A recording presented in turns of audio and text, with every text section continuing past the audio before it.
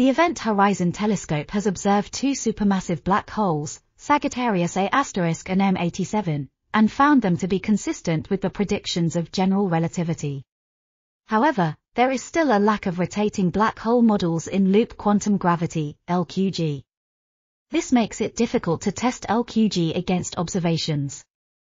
We have developed a new rotating black hole model, called the Multi-Horizon Rotating Black Hole, MHRBH, which is consistent with the Kerr solution of general relativity.